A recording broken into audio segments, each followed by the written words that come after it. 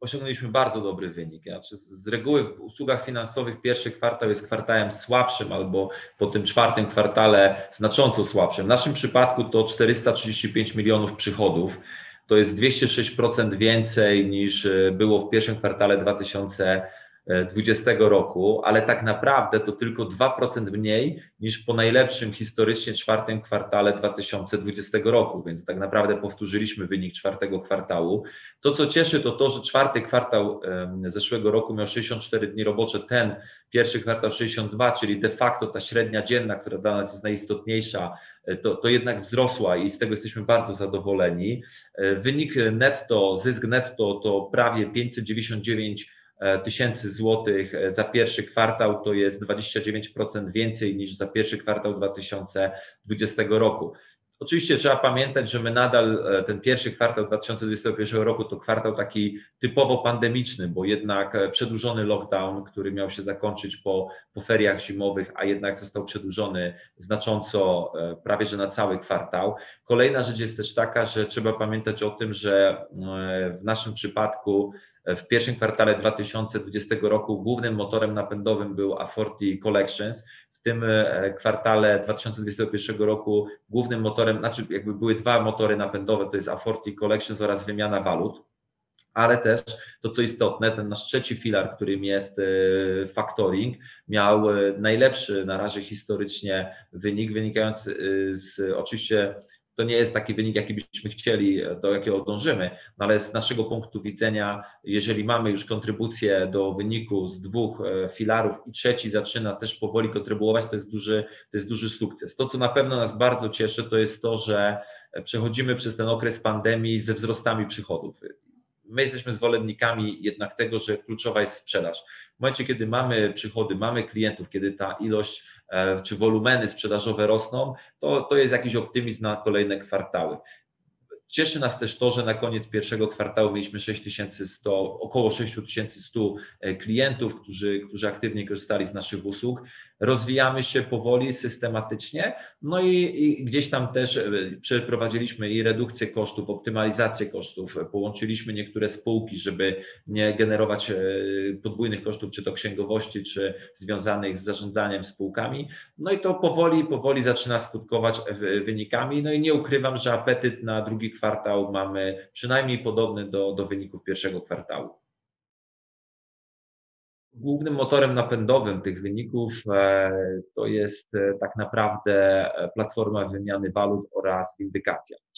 Pierwszy kwartał zeszłego roku to był ten moment, kiedy kiedy, kiedy weszliśmy w ten kwartał, wszyscy nastawieni, cała gospodarka nastawiona bojowo, były długie ferie, bo to jeszcze był czas, kiedy, kiedy te ferie były rozłożone na kilka tygodni i nagle pojawiła się pandemia i wszystko stanęło. Nikt nie wiedział tak na dobrą sprawę w marcu 2020, jak się zachować, co dalej będzie.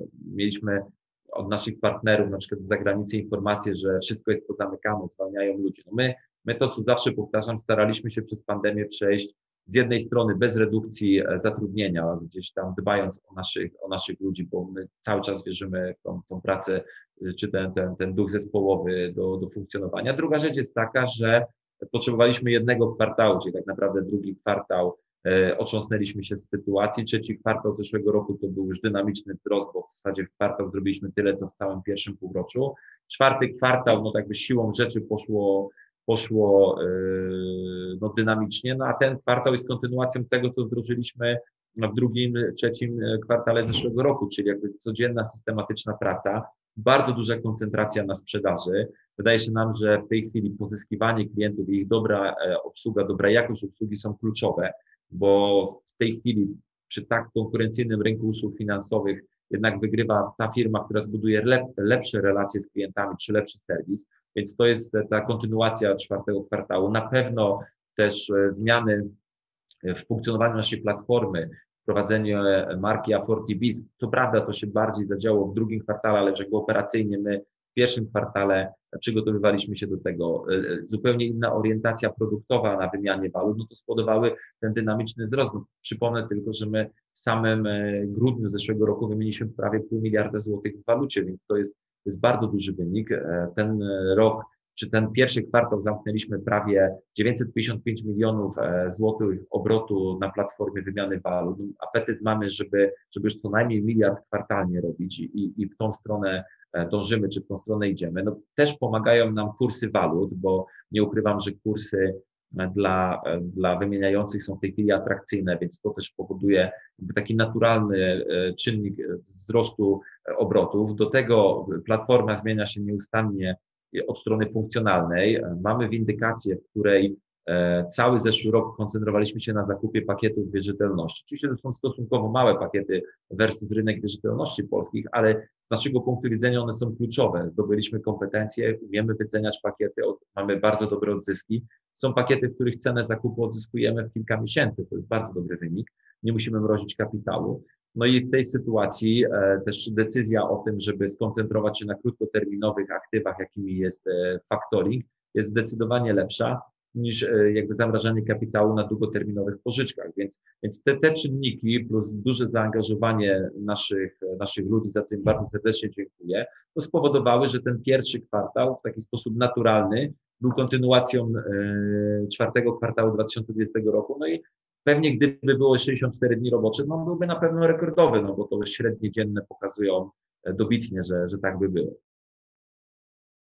Jeżeli chodzi o dwa nasze główne e, motory napędowe, czyli windykację i platformę wymiany walut, raczej zakładamy, że ten rok będzie kolejnym ich rekordowym. Znaczy, nie wyobrażamy sobie sytuacji, że nawet w tej chwili, w sytuacji znoszenia obostrzeń oraz znoszenia lockdownu, nagle na rynku e, znikną zatory płatnicze, znikną potrzeby windykacyjne. To po pierwsze. Po drugie, na pewno mocno koncentrujemy się na zakupie pakietów wierzytelności. Nie chcemy oczywiście ich przepłacać, ale gdzieś po tym rynku e, przetargów e, poruszamy się dosyć intensywnie. Więc jest też kwestia taka, że jednak głównym naszym klientem w dużej mierze były firmy pożyczkowe i instytucje finansowe. One są jednak w odwrocie, bo wprowadzony e, maksymalny limit odsetkowy spowodował, że firmy musiały mocno przegrupować swoje plany, wiele produktów po prostu z rynku najnormalniej w świecie zniknęło, więc te portfele kupujemy. Wydaje się, że powinna, powinna być jeszcze podaż tych portfeli do końca roku w miarę przyzwoita z naszego punktu widzenia. Oprócz tego intensywnie rozwijamy dział handlowy dla Forty Collections. W tej chwili mamy już pierwsze sukcesy, jeżeli chodzi o podpisywane długoterminowe kontrakty.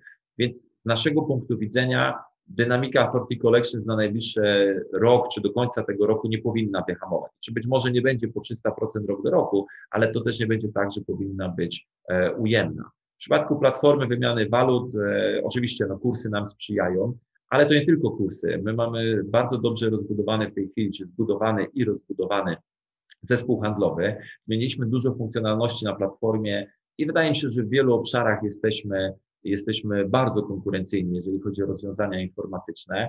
Oprócz tego pokazujemy naszym klientom oszczędności, czego nie robiliśmy wcześniej na naszej głównej stronie. Można zobaczyć, ile nasi klienci oszczędzili na wymianie walut versus y, kursy na przykład w konkurencyjnych bankach. I to jest w czasie rzeczywistym, czyli tak naprawdę pokazujemy po prawie że każdej transakcji e, oszczędności klientów. One już sięgają e, prawie 120 czy nawet ponad 120 milionów złotych, jeśli chodzi o oszczędności naszych klientów. Więc wydaje się, że ten rok powinien być raczej rokiem platformy. Oprócz tego, no pamiętajmy, że na początku pierwszego kwartału my nabyliśmy spółkę, znaczy podpisaliśmy umowę mm, na Cyprze y, nabycia spółki z licencją EMI. W kwietniu, to już w drugim kwartale, sfinalizowaliśmy pierwszy warunek zawieszający. E, mamy już w tej spółce udziały, przygotowujemy ją do operacyjnego startu, a to też urozmaici naszą ofertę, bo mając licencję EMI, czyli takiego pieniądza elektronicznego, będziemy mogli prowadzić dla klientów e, wirtualne rachunki bankowe, co też daje im kolejną korzyść oraz e, robić tak zwane przelewy na konto osób trzecich, co w przypadku importerów, którzy oprócz wymiany waluty chcieliby też od razu wyoutsourcować wysłanie po niskiej cenie przelewu do, do swojego kontrahenta, no, powinno, powinno urozmaicić ofertę, czy ją wzbogacić na tyle, że liczymy, że ten obrót znacząco wzrośnie. Ale y, oczywiście na to wszystko składa się jeszcze wiele, wiele elementów, czy to czwarta fala pandemii, czy być może powrót do lockdownu. Wydaje się, że szczepienia i, i te wszystkie elementy makroekonomiczne nam sprzyjają, więc jeśli nie byłoby powrotu do lockdownu, przedsiębiorcy działaliby by w pełnej, e, w, w pełnej mocy, że tak powiem, plus te wszystkie wzrosty, które prognozują analitycy i ekonomiści zaczęłyby się realizować, czyli polskie PKB zaczęłoby rosnąć, nie byłoby recesji, no to wydaje mi się, że ten rok powinien naprawdę być dobrym rokiem. Ten rok będzie w ogóle rokiem, moim zdaniem, wyzwań. E, ogłosiliśmy na koniec kwietnia nową strategię na lata 2021-2023. E, uporządkowaliśmy wiele elementów e, w organizacji. Chcemy stać na trzech filarach. Windykacja, platforma dla małych i średnich przedsiębiorstw aforti.biz oraz docelowo zbudować nogę asset managementu. Mamy taką sytuację w tej chwili, że windykację mamy zbudowaną. Dla niej główny plan na najbliższe kwartały to jest jakby rozwój struktur operacyjnych, rozwój swojego biznesu na terenie Polski oraz powolne rozglądanie się za granicą. Tu nie chcemy popełnić błędów e, innych firm indykacyjnych, żeby iść intensywnie za granicę, bo to jest też kwestia zrozumienia rynku. My dużo się nauczyliśmy dzięki temu, że uruchomiliśmy platformę wymiany walut oraz biznes pożyczkowy i faktoringowy w Rumunii. To jest jednak kwestia pracy na innych rynkach, kwestia komunikacji, kwestia zrozumienia lokalnej specyfiki. Więc, więc na pewno duża koncentracja na tym filarze windykacyjnym i tu mamy dobry zespół e, zarządzających Agnieszkę i Rafała, i to bardzo dobrze prowadzą, mamy do nich pełne zaufanie i też wyniki, które generują są bardzo satysfakcjonujące. Drugi filar, czyli platforma dla małych i średnich przedsiębiorstw Aporti Biz, którą jakby prowadzi e, Mateusz Niemczyk z Piotrkiem Królikowskim, mając wsparcie Wani Lejko oraz Marcinie Grabiszewskim, no tutaj po pierwsze trzeba technologicznie też wiele rzeczy zbudować, trzeba zaimplementować licencję EMI, trzeba też zaimplementować fakt, że w naszej organizacji już istnieją spółki wymieniające waluty oraz wymieniające faktoring, więc z jednej strony dużo pracy takiej powiedziałbym organicznej budowy, która, która nie skutkuje spektakularnymi wzrostami, no ale z drugiej strony dobry zespół sprzedażowy, dobra dynamika, dobry, dobry wzrost, więc, więc to jest dla nas główna koncentracja a docelowo y, ten filar asset managementowy, który planujemy w ciągu tych trzech lat uruchomić, no wynika to z tego, że mamy, mamy grupę klientów, czy grupę inwestorów, którzy zainwestowali czy to w nasze obligacje, czy w nasze akcje. Gdzieś mamy jakiś plan pozyskać duże e, finansowanie instytucjonalne i wtedy chcielibyśmy klientom proponować powoli przejście na usługi asset managementu, ale to na pewno nie wydarzy się w tym roku. Myślę, że najwcześniej w przyszłym roku tym roku, jeśli już chcielibyśmy zbudować organizacyjnie tą nogę, żeby ją zrobić dobrze, porządnie, no żeby móc mieć taką samą dynamikę rozwoju jak na poszczególnych filarach, więc tak naprawdę cały ten rok planujemy, tak powiem, tysiącprocentową koncentrację na sprzedaży, ona jest najważniejsza. I drugą rzeczą jest takie organiczne porządki, e, uporządkowanie wszystkiego, uporządkowanie struktury pod wersję optymalną, no po drugie też budując tą platformę wchodzimy już tak bardziej na rynek fintech, gdyż na niej funkcjonalności pozwalają klientom bez kontaktu takiego ludzkiego i kupić nasze usługi, i się zarejestrować, i wymieniać walutę, czy korzystać z faktoringu, więc, więc, więc to też jest na pewno dla nas duże wyzwanie.